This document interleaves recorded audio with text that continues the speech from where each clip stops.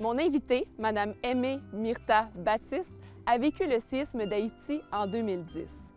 Grâce au programme de parrainage du gouvernement canadien, elle a pu rejoindre sa fille ici, en sécurité.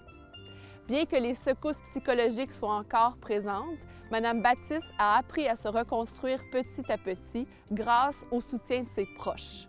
Rencontre avec une femme forte, inspirante et résiliente.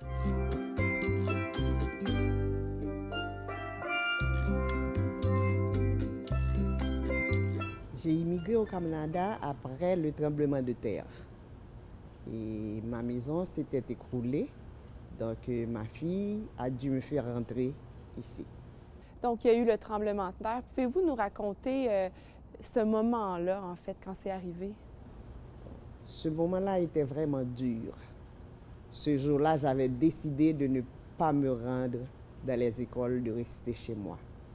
Heureusement. Parce que la plupart des écoles d'où je travaillais sont tombées. J'étais chez moi et vers 5h10, le séisme a commencé. Il y avait un gros vent. Tout le monde courait partout et là. Moi, ne sachant pas ce qui se passait, parce que j'étais à l'intérieur de la maison, j'entendais des bruits. Je me demandais qu'est-ce qui se passait. Donc, je l'ai su quelques minutes après. Donc, j'ai posé la question à un cousin qui était avec moi. Qu'est-ce que c'est? Je lui ai dit, c'est la fin du monde. Tout le monde, il y avait des klaxons de voiture, tout le monde se réunissait dans la rouillelle, on se posait des questions et à chaque fois, on avait des secousses. Et les secousses étaient vraiment terribles. Puis ensuite, les jours qui ont suivi le séisme. J'ai passé un mois dans la rue parce que je n'avais pas de maison, sous une tente. Après, ma fille, à chaque jour, ma fille m'appelait pour me dire, mamie, qu'est-ce que tu... Parce qu'au début, il n'y avait pas de communication. Personne ne pouvait communiquer avec personne.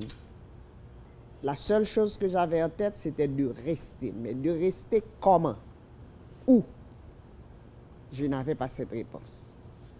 Mais elle m'appelait à chaque jour pour me dire, mamie, tu ne peux pas rester comme ça, tu dois venir, tu dois venir, tu dois rentrer. J'ai dit, je vais réfléchir, je vais réfléchir. Et après un mois, la réponse à ma réflexion est venue. C'est que elle m'a appelé, je lui ai dit oui, j'ai décidé maintenant, je veux rentrer pour te rejoindre. Madame Douillon, pouvez-vous nous parler des différentes vagues d'immigration haïtienne qui sont arrivées à Montréal? Alors, euh, je ne suis pas une experte euh, d'un point de vue démographique euh, sur les vagues, et je ne suis pas historienne non plus, mais je peux vous parler en tant qu'enfant qui a, dont les parents sont partis sous Duvalier père, sous Papadoc dans les années 57. Donc, d'après ce que j'ai pu lire, il y a eu une première, si on peut appeler ça une première vague, mais il y a eu des, arrivants qui étaient des étudiants à Montréal dans les années 1920-1930, issus des milieux élitistes. Après ça, il y a eu un nombre assez important euh, de, euh, de, vagues d'immigration dans les années 57, dont je vous parlais, sous Papadoc, donc François Duvalier, et c'était des opposants au régime, des, gens issus de professions libérales, des médecins, des gens de la santé, des écrivains, des artistes, du monde littéraire, et qui sont arrivés aussi au Québec pendant toute cette mouvance de la Révolution tranquille, qui avait en commun les mêmes idéaux, partage de la langue, partage de la revendication du français, de l'écriture. Donc ça, c'est ce que je pense être la deuxième vague. Et après ça, il y a eu des, des, réfugiés ou des arrivants, on va dire, qui sont euh, des travailleurs non spécialisés dans les années 80 pour des raisons socio-économiques et aussi politiques. Et on va les retrouver beaucoup dans les milieux aussi des manufactures, du taxi. Et à ce moment-là, euh, au Québec, on va voir la naissance aussi d'organisations communautaires telles que la Maison d'Haïti et le Bureau de la communauté chrétienne. Et puis les années 90 continuent à avoir un flux de, réfugiés socio-économiques. Et puis le traumatisme, après ça la grande vague aussi suite au séisme du 12 janvier 2010. Et tout récemment, on a vu les demandeurs d'asile qui venaient aussi des États-Unis.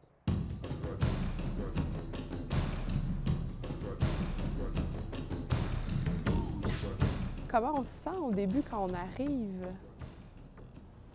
Le premier jour, on est toujours dans des réflexions. Qu'est-ce que je vais faire? Comment je vais faire pour sortir? Je ne connais pas les routes. Je ne sais pas comment fonctionner parce que ma fille, elle est au travail. Je reste à la maison seule. Donc, euh, tout ça pesait. Et comment vous avez apprivoisé ça? J'ai pris un crayon et du papier. J'ai dit à ma fille, demain je sors. Elle m'a demandé, mamie, pour aller où? J'ai dit, mais je ne peux pas rester constamment dans la maison, je dois bouger. J'ai dit, il y a des bus. À ce moment-là, j'habitais à Montréal, à Parc Extension, Saint-Roch. Les bus qui passaient dans la zone, je lui ai dit, donne-moi le numéro des bus et dis-moi quoi faire. Elle m'a dit, mais pour te dire quoi faire, mamie, tu dois savoir où tu vas. J'ai dit, j'ai pas besoin de savoir où je vais. je sors. Donc, je- ça a commencé comme ça. Je suis sortie. Je suis allée à Auckland, dans les magasins, regarder.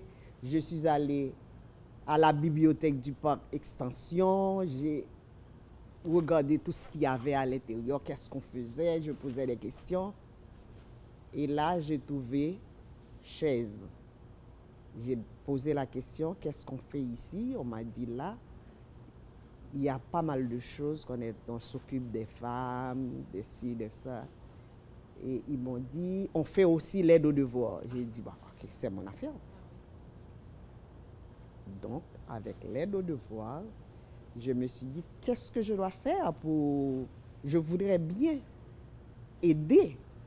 On m'a dit, il n'y a pas de problème. Je leur ai dit qu'en Haïti, j'étais professeur. Et on m'a dit, OK, on va vous rappeler, donnez-moi vos coordonnées. Vraiment, on m'a rappelé et j'ai commencé à l'aide aux devoirs à chaise.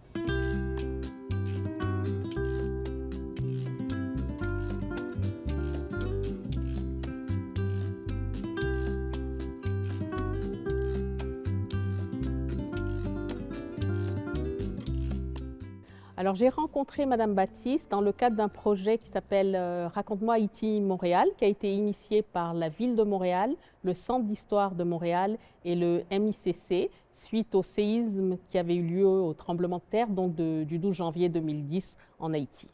Et donc, le nom du projet s'appelait Raconte-moi Haïti Montréal. C'est un projet d'intégration.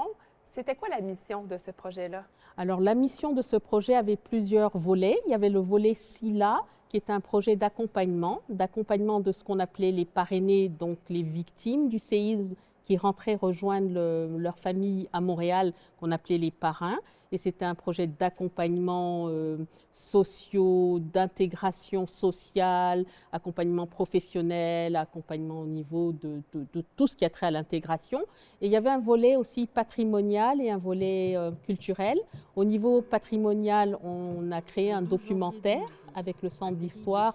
Donc les, les participants qui étaient donc ces victimes du tremblement de terre et leurs familles allaient relater et raconter ce qu'ils avaient vécu pendant le tremblement de terre et durant les- leurs mois d'intégration à Montréal.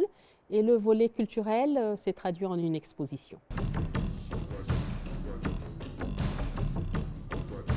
Est-ce que ça a un effet sur votre expérience de participer à des projets où vous racontez ce que vous avez vécu?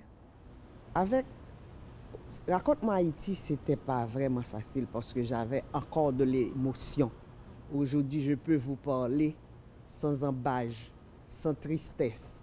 Mais ça ne veut pas dire que je n'ai pas, que je n'ai plus de tristesse. Mm. J'en ai parce que parler du séisme en Haïti, avoir vécu le séisme, c'est fort. Et au Canada, comment on s'y plaît maintenant? Je me plais au Canada. On est obligé de s'accommoder parce que la vie doit continuer. On doit regarder devant soi. Oui.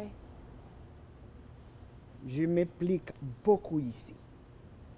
Je fais beaucoup de choses. Eh bien, merci beaucoup, Madame Myrta Baptiste, pour ce temps précieux avec nous. C'est à moi de vous remercier. Merci.